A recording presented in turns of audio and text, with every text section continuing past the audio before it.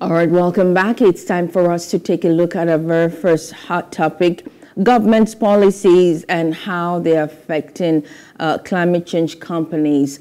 I have been joined, we have been joined by Mr. Frank Eleanya, Technology and Media News Editor at Business Day.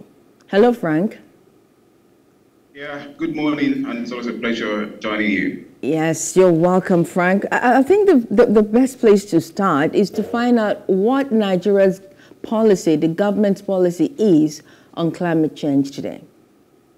Okay, so in uh, 2021, Nigeria actually came up with a policy on climate change, um, which um, essentially tries to align with uh, the global best practices on climate change and uh, also to uh, help companies um, um, rearrange or say re-strategize their, um, their policies towards uh, becoming more responsive and uh, more responsible with uh, um, climate change. And of course, um, there, there are various arguments to support um, the move by the Nigerian government. Uh, if you've uh, seen the incidents of flooding that we have experienced in recent times um, across uh, the country, several places have uh, been submerged by rain and uh, um, you have incidents of um, droughts um, in, in many places. so um, there is a need for us to start talking about climate change in, in the country. But where are we now uh, in that uh, in that move? They, it, it's not enough to to come up with a policy. Uh, how would you describe the implementation of that policy?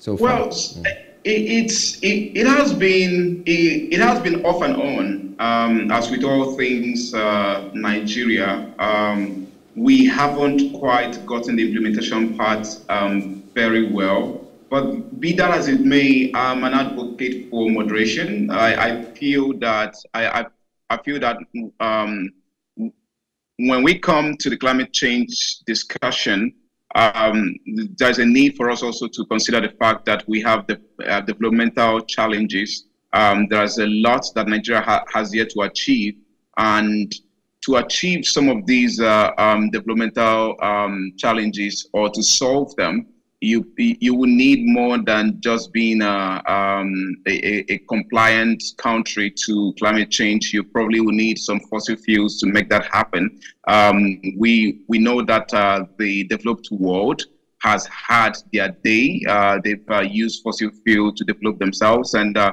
uh, currently, if if I may, um, countries like uh, China, the United States, um, Japan, UK and several others are actually among the top 10. Um, in, fact, if I could go through the um, the top five, the top five, China, for instance, um, emits 10.065 billion tons of CO2.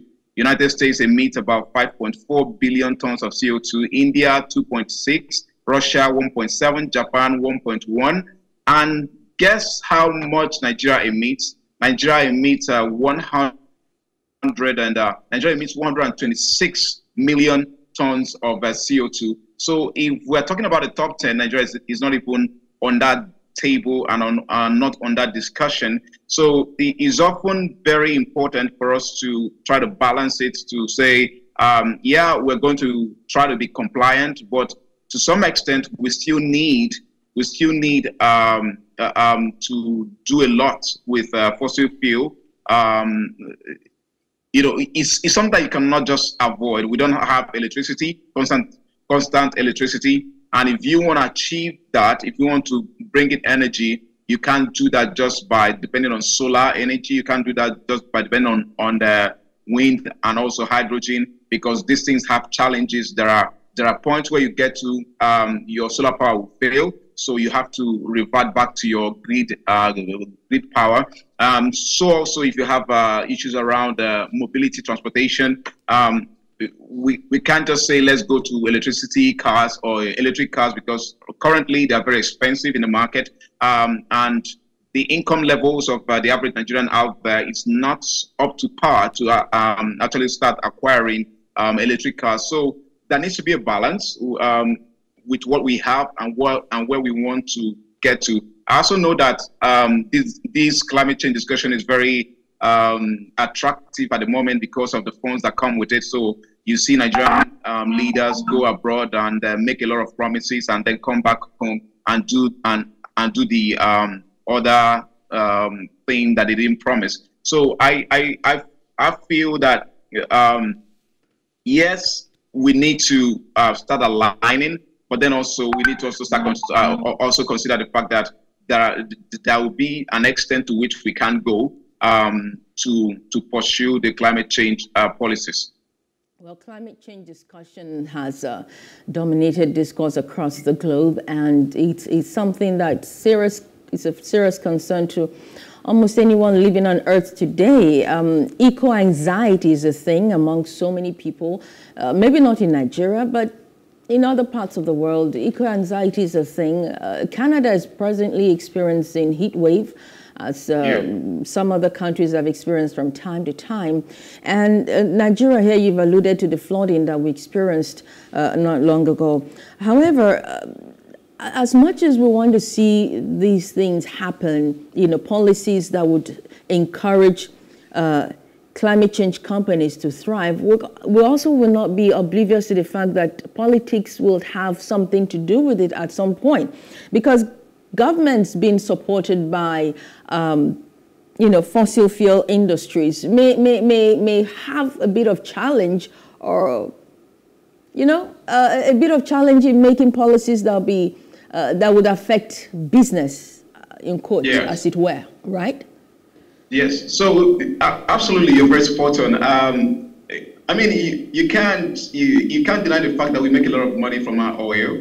All right. Um, Saudi Arabia makes a lot of money from its oil as well, and uh, um, some of these countries, you have Venezuela, you have Iran, even the United States uh, uh, currently is among the top um, oil producers in the world. So um, everyone um, needs the oil revenue that we gen- uh, um, that they generate, you know, and that's also where it, it is a, a, tricky balance for for many countries, also including Nigeria. Um, you can't you can't wish away you can't wish away the importance of uh, climate change, yes, but then also you can't also um, uh, um, forget the fact that you need to develop, you need to come up at uh, um, to some level with these other countries that have already arrived. You know, um, we're not at the same level with the United States. We're not at the same level with Canada. Um, uh, and talking about heat wave, they've been expressing heat wave uh, for a very long time. This is not the first time they're going to experience it.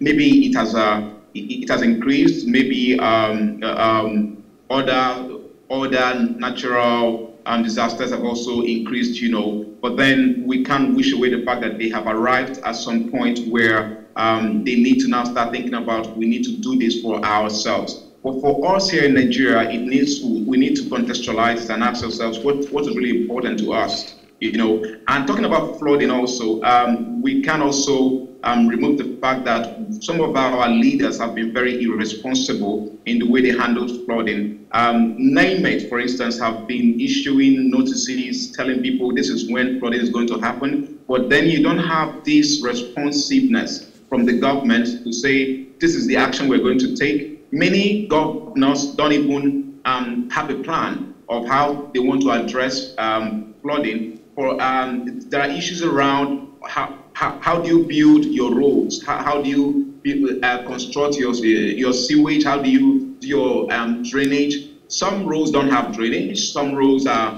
are done without it. So a lot of things wrong, you know. And then even some um, some states don't even have roads. In some places, you don't have roads, and when flooding comes, those are just um, easy paths for flooding to take over. So when we start um, constructing things or building things the way they're supposed to build, uh, uh the way they're supposed to be built, in the first instance, then we can now start talking about okay, so we have built it, but we are still experiencing flooding. What else can we do? You know, and perhaps also this is also the um, the best time for us to now start considering when we are building roads, how can we make it sustainable? How can we make it um, uh, um, compliant to some of the climate change um, standards that are coming out? You know, but we can't remove the fact that we need to develop our communities. We need to uh, um, give people um, a, um, a sense of belonging in terms of the kind of infrastructure that we put out there. You know, so it, we uh, we need these things like yesterday. We need light. We need um, more roads. We need several things. You know, but flooding is it going to stop? I don't think flooding is ever going to stop, but I think we can reduce it by just taking proactive measures governors can start um, taking proactive measures, and with little things like uh, um, alerting the people, building shelters for them, so that when flooding happens, you can take them to those shelters. Later on, you can bring them back. You know, so issues around housing, we haven't even gotten our housing uh, um, uh, um, problems correct. So those things need to be addressed, and we then know how we can take it from there. Climate change is important, yes, but for us in Nigeria, we need to um, contextualize what it is, what is the most um, uh, uh, um, priority for us at the moment. This priority is uh, because uh, climate change, when we're talking about climate change, uh, the people of Nigeria seem not to be catching on. They don't, like um, Maureen said, that maybe yes. not in Nigeria, because we in Nigeria, we don't, we don't think really much about it. We still fell our trees, we still burn uh, uh, bushes, we still do a lot of things. We even roast our goats and cows with tires and all that. So are we really taking it seriously? What do we need to do? What do we need to change?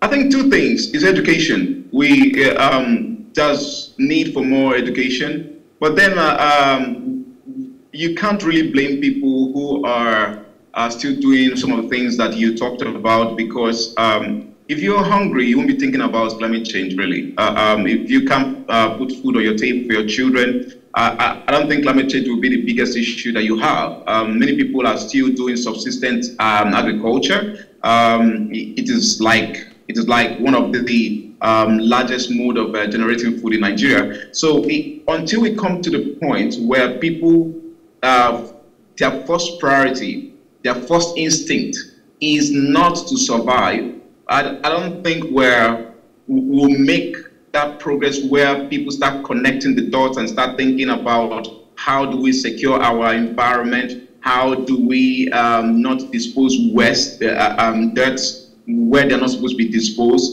how do we ensure that we um, maximize the water that we have, and how do we ensure that our lands are um, um, that we have plants, uh, that we plant things, you know. So all of those things are important, yes. But first of all, can we address hunger? Can we address um, uh, um, poverty? Um, if you ask me, I think um, poverty is like is like one of the major causes of climate change. Uh, um, it, because a lot of people are having to cut down trees because they need to use it for fire. Look at what is happening with the um, fuel price. So what you have ultimately done is for some people they can't cook or they can't move around. They need uh, um, alternatives to bring food to their table. So they need now maybe to go and burn wood. They need to do some things you know. So those are um, issues that people are facing currently. So once we can address poverty once we can address um, food uh, security then when you bring um, education to somebody and say listen you need to do something about how you're cutting down these trees, the person can start listening.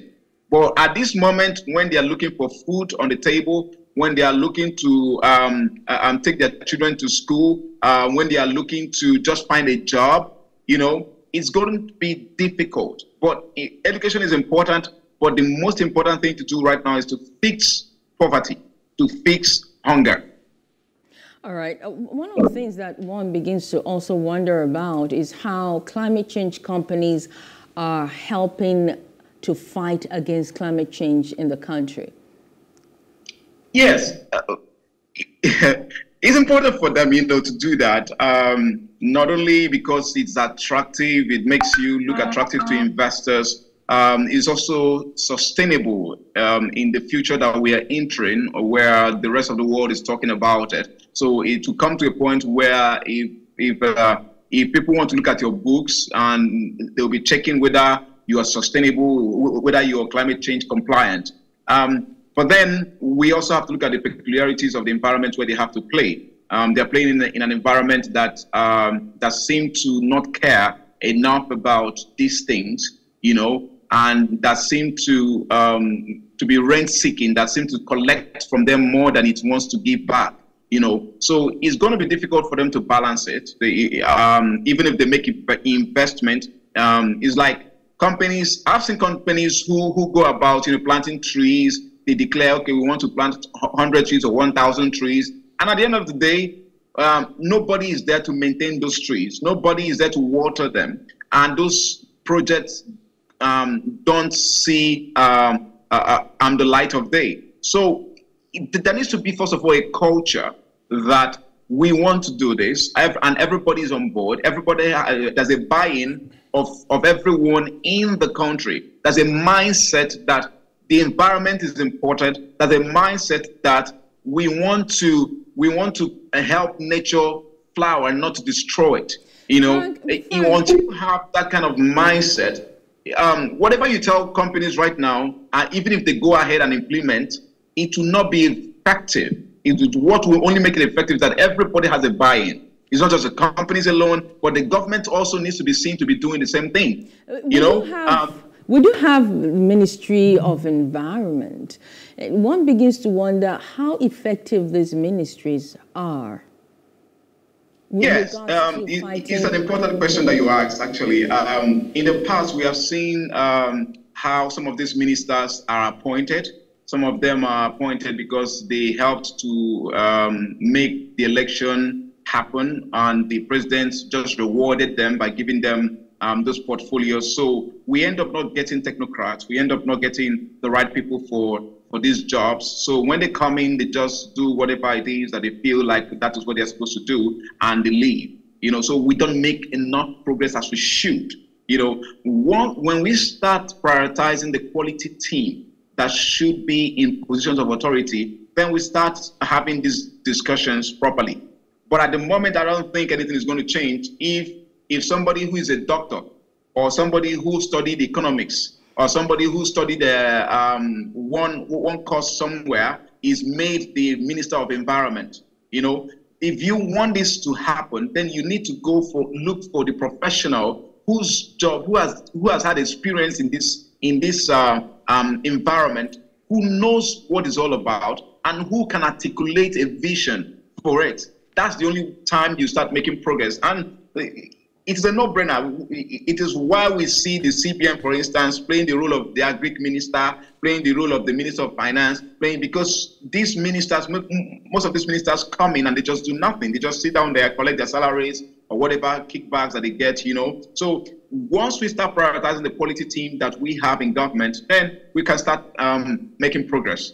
Well, I guess we'll just um, keep our fingers crossed and see if this new president is going to change the narrative and give us people who know the job as against to people who come and learn on the job. As we've seen of late with the last administration, the Minister of yes. Education, the Minister of Interior, even the Minister of State for whatever in Abuja, Festus Keyamo, had also said that which he occupied, there was, it had no reason to exist in the first place. So let's wait and see, Frank.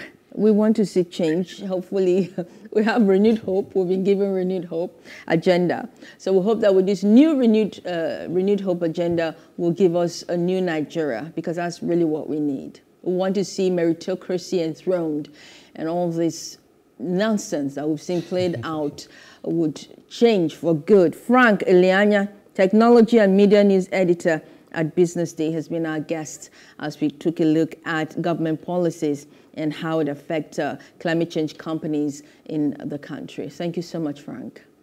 Thank you, Maurice, and thank you for having me. All right, so it's still the breakfast on Plus TV Africa. We'll take a short break now and come back with our second hot topic. Stay with us.